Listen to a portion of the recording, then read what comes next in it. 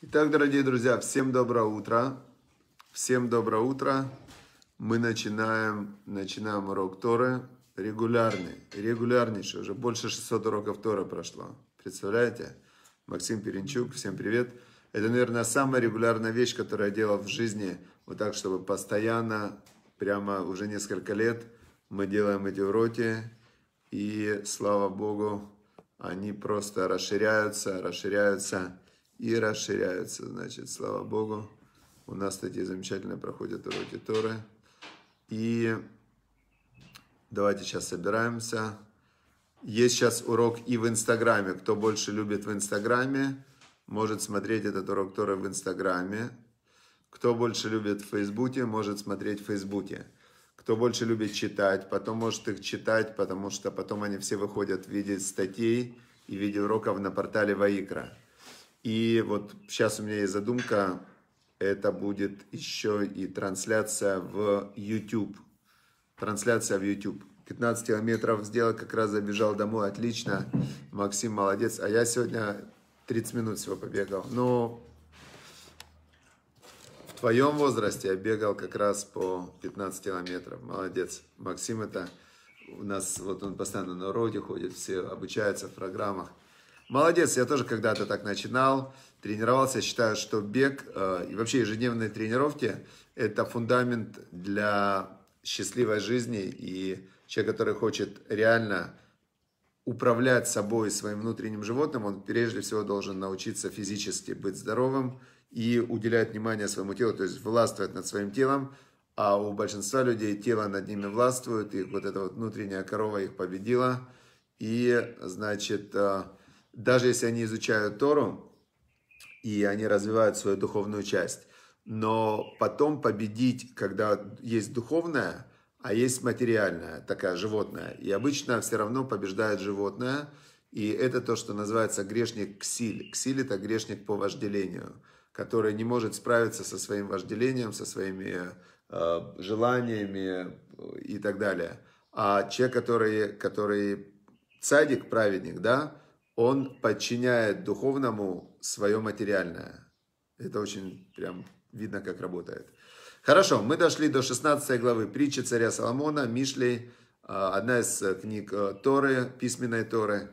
И, значит, э, мы изучаем его великую мудрость. Он был пророк, он от Бога получил мудрость и делился со своим поколением, он делился на примерах, понятным им. А я сейчас пытаюсь переводить те примеры, притчи это примеры, которые были понятны им на язык, понятный нам. Вот, в общем, такая у нас а, работа. Значит, э, мы дошли до 16 отрывка. В 16 отрывке говорит нам царь Соломон следующее. Кно хахма матов михаруц, он говорит. Приобрести хахму, божественную мудрость, насколько это лучше, чем даже золото, чистое золото. Укнот бина и приобрести бина. Бина это сообразительность, это логика. А, Нивхар, нивхар микесов, это лучше, предпочтительнее, чем серебро.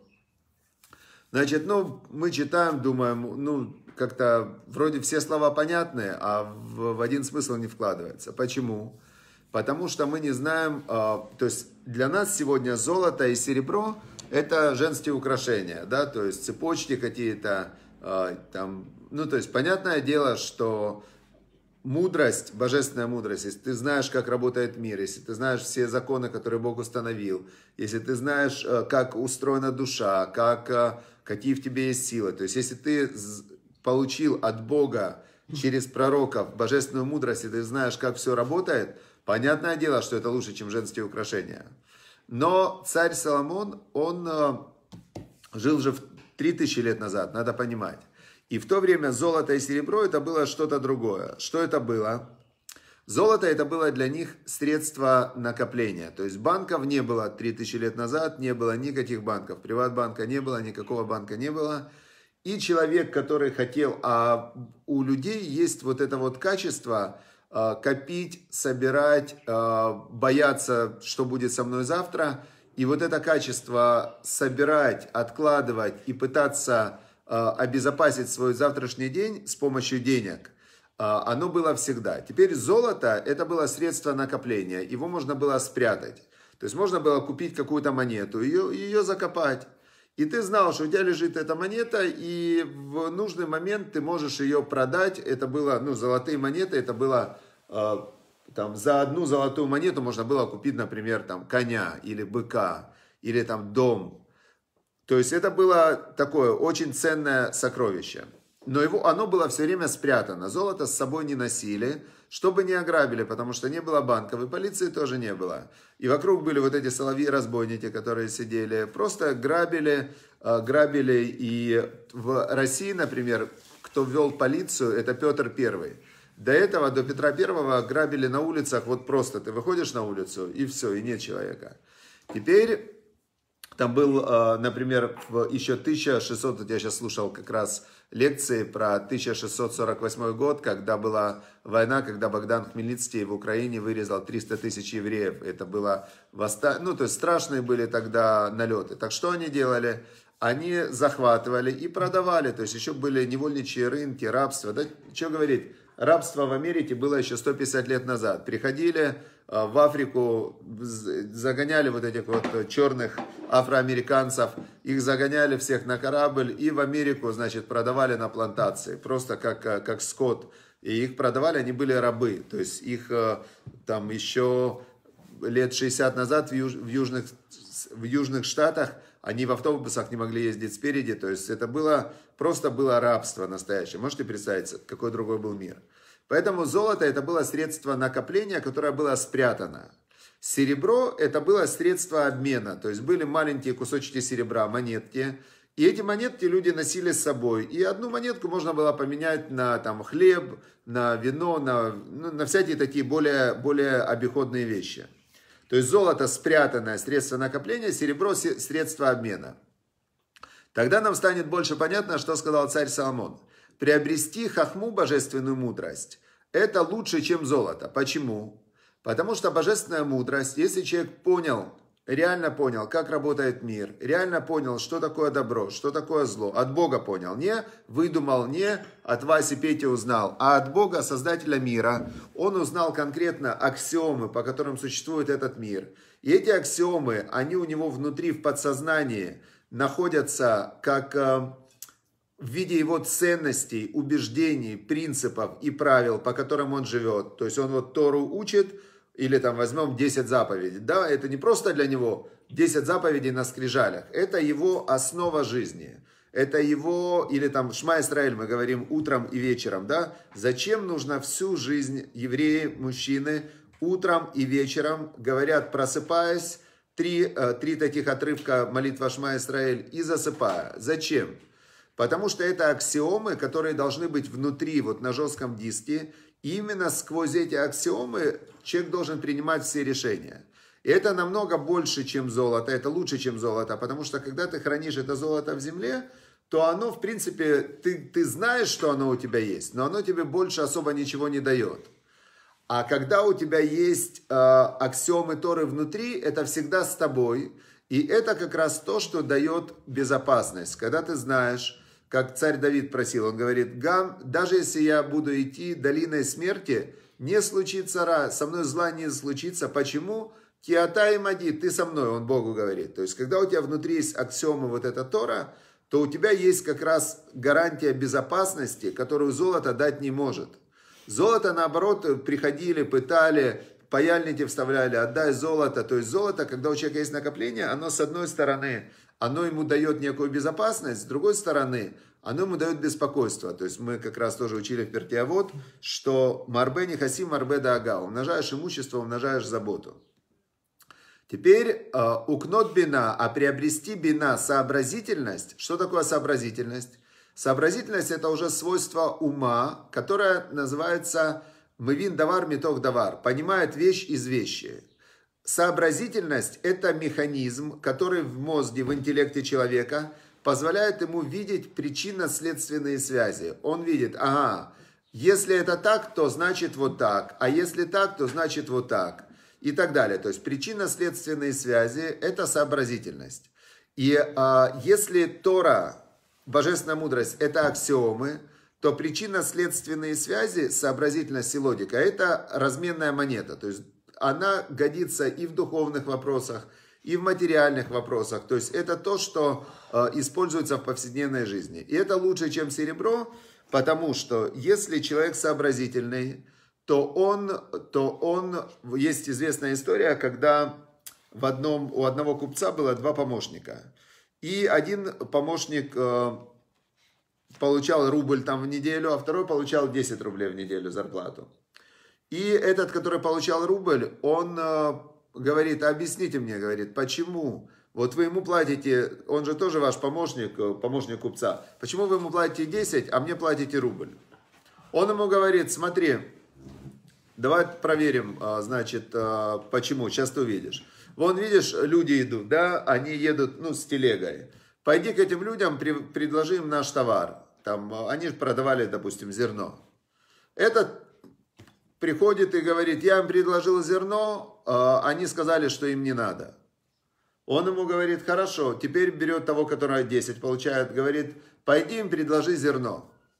Тот, значит, э, приходит через какое-то время и хозяину докладывает. Говорит, люди эти приехали на ярмарку, приехали они покупать ткани. А, значит, купить им надо ткани столько-то, столько-то, столько-то. А, значит, и вот они ищут ткани вот такой-то расцветки. У нас есть зерно, а тот, кто продает ткани, он, а, ему нужно зерно, и если мы сейчас поменяем зерно на ткани, тогда мы сможем этим продать ткани, и мы заработаем 100 рублей. И тот, который, а, тот, который хозяин, тогда говорит тому, который рубль. Видишь, в чем разница? Тебе сказали, пойди, предложи. Ты пошел, предложил и вернулся. Эта работа стоит рубль. А он, он пришел, узнал, что им надо, зачем им надо, откуда они приехали, что и так далее, и так далее. Это называется качество сообразительность, видеть в глубину вещей, строить из своих знаний, строить новые комбинации – и если тебе кто-то что-то говорит, понять, почему он говорит, откуда он это узнал и так далее. Понятно. И это лучше, чем серебро, потому что если у человека есть сообразительность, то в любом месте, в любое время он найдет, что покушать, найдет работу и так далее. Поэтому стремиться надо не к деньгам и не к серебру и золоту и накоплениям, а к знаниям божественной мудрости, которые спасут всегда и везде, и к сообразительности, которая поможет в любой ситуации найти правильный выход. Это был 16 отрывок. Теперь 17 отрывок, он звучит так. Месилат Ешарим Сурмира. Значит, дорога прямых, дословно переводится. Месилат Ешарим, есть такая книга, даже у Рамхаля есть такая книга, Месилат Ешарим она называется, Путь, путь прямых. Значит, Месилат Ешарим Сурмира. Дорога прямых отодвигаться от зла. Шумер Навшо, сохраняющий свою душу, но царь Дарко. Он э, должен очень охранять свой путь. Значит, э, есть такие люди, которые называются праведники. Это те люди, которые, они побеждают свое злое начало. У них внутри происходит постоянная борьба, он хочет делать вещи, которые делать нельзя, и он себя побеждает, это называется праведник. Есть люди, которые называются прямые, у них этой борьбы уже нет или вообще нет. То есть у них, вот они от природы, у них хорошие качества, они добрые, честные, такие, а у них нет соблазнов, то есть они вот такие, знаете, а, простые, понятные люди. Есть известная история в Талмуде, как один мудрец, Аба его звали, он как-то на постоялом дворе увидел, что мужчина один познакомился с женщиной, вот, и они шли, раньше же пешком ходили, из города в город пешком шли. И он, значит, этот мужчина договаривается с женщиной, что они вместе пойдут по дороге. Этот Абай, мудрец такой, он, значит, э, думает, сейчас я их спасу от греха. Но если я им сейчас скажу, что вы не можете вместе идти и нельзя вам вступать ни в какие отношения, значит, э, они э, скажут, да ладно, там не будут меня слушать. Я лучше за ними буду идти, подумал он, он был праведник, он хотел их спасти от греха. И в момент, когда они начнут, значит, друг с другом какие-то отношения, я их тогда и остановлю. В общем, он за ними крадется, крадется 15 минут, 20 минут, час, 2 часа. Он уже прячется за ними и так, и так. Они идут, доходят они до развилки э, дорог, прощаются. Мужчина говорит, ну все, значит, до свидания, вам направо, мне налево. Попрощались и разошлись. И он сел и заплакал, и говорит, если бы я был на его месте, я бы не удержался. То есть есть люди, которые, э, он великий мудрец, и он, э, этот великий мудрец, он, зная природу человека, животную природу, он э, как раз из второй части отрывка, тот, кто сохраняет свою душу, он охраняет свой путь, то есть он предохраняется, он ставит ограду для закона, чтобы, не дай Бог, не попасть ни в какую тяжелую ситуацию, где он не сможет выстоять. А вот этот мужик и эта женщина, они, видно, были из категории прямые. И эти прямые, они как бы идут себе, идут себе прямо. То есть нет у них ни соблазна внутренних и так далее. И у них дорога, Месилат Шарим это как железная дорога. Прямая дорога, Главное, главное, чтобы они шли по, правильным, э, по правильной идеологии, потому что вот такие прямые люди, они иногда, если им в голову, значит, э, как бы впечатают неправильную идеологию, из них очень получаются хорошие Павлики Морозовы, которые потом родители сдают, и пионер «Будь готов» всегда дают, готов, от чистого сердца. То есть вот эти вот прямые, для них самое главное отодвинуться от зла и идти по хорошей правильной идеологии. Теперь а остальные, которые знают про себя, что у них есть вожделение и так далее, они должны очень сильно, а, значит, шумер навшото, то сохраняет свою душу, он должен охранять свой путь. Надо знать, что окружающий мир на 90% состоит из людей, может больше, из людей, которые живут в, в плену своих желаний, эго, люди, которые совершенно даже не думают как-то бороться со своими недостатками, люди, которые вся их жизнь это общество потребления, э, только вот пожирать, по, поразвлекаться, хлеба и зрелищ. И если не было бы полиции, то тогда они бы просто бы э, грабили бы, убивали бы, насиловали, потому что, потому что они эгоисты, потому что они считают, что их желание самое главное в жизни. И, значит, человек, который хочет построить в себя духовную жизнь и так далее, он должен понимать, что с тем поведешься, от того и наберешься, и с волками жить по волчьи выть, поэтому ему нужно, чтобы он не хочет, если он не хочет по волчьи выть, и если он не хочет э, стать таким же, как эти люди, нужно максимально оградить себя от общения с ними, все вот эти вот телевизор и так далее, это нужно, нужно, ну то есть надо понимать, что это яд, который разъедает душу, он в глаза входит, в мозг и разъедает душу. Дальше. Дальше а, последний сегодня отрывок, он звучит так. Лифней шевер гаон, велифней кишалон гова руах. Значит, а, есть а, качество, которое называется, вот Бог его не любит больше всего. Это называется качество гордость и высокомерие. И есть качество, которое Бог любит больше всего, которое называется анава, скромность. Откуда мы это знаем? Машер Бейну Моисей, он был анав Миколь Адам, самый скромный из всех людей. И Бог говорит, что Маше для меня это Авди, то есть это раб мой, самый близкий для меня человек. Он анав Миколь Адам, самый скромный из всех людей. Что такое скромный? Скромный – это человек, который понимает, что его я, его эго, его мысли о мире. Это все, как сказал царь Соломон в начале Коэлета, Эвель Эвелим. Это все пар паров, это все иллюзия.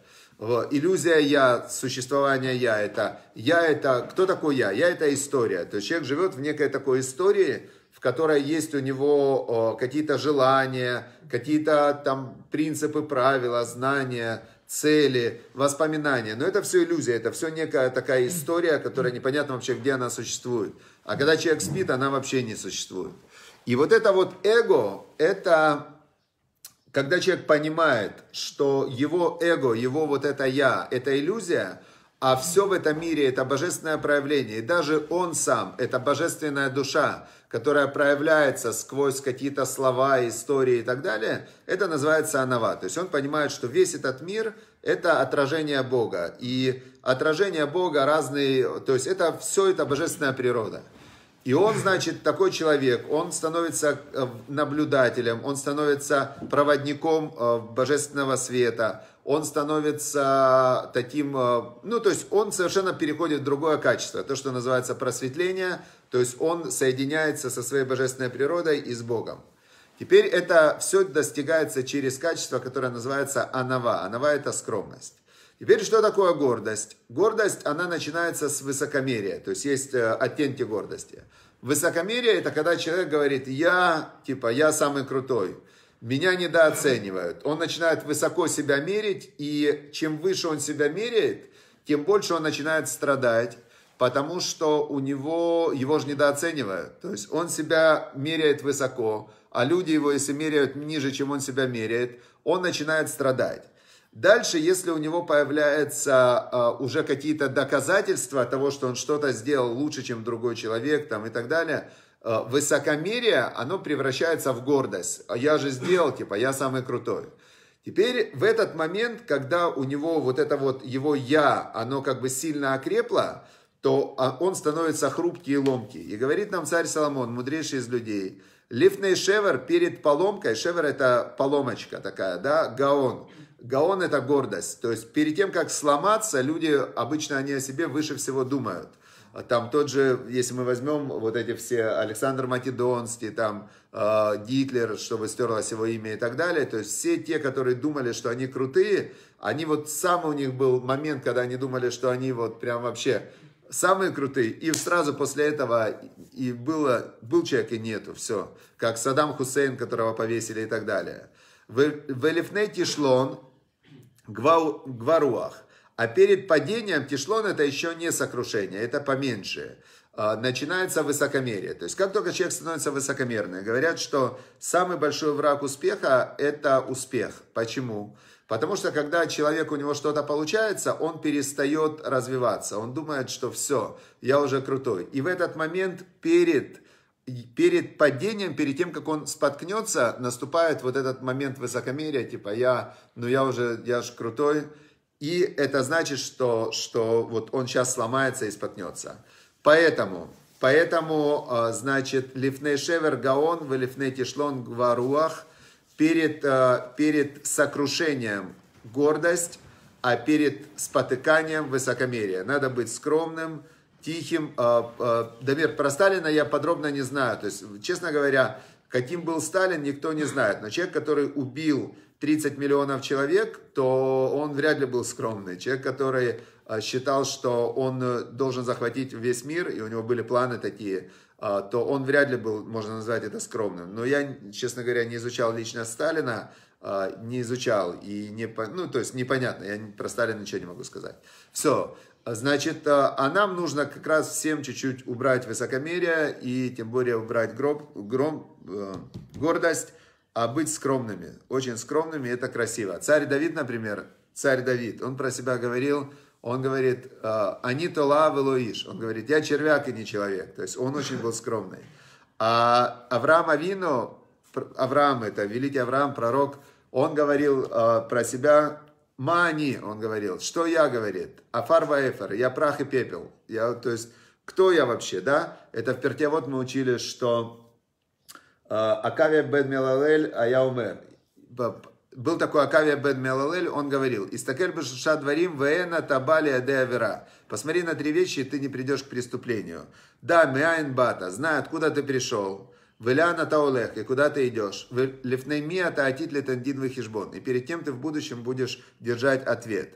Откуда ты пришел? Спрашивает Акави бен Меалалель. Мити паструха, из капли э, вонючей такой, смердящей. То есть, ну, из семени. Семя человека это такая маленькая капелька.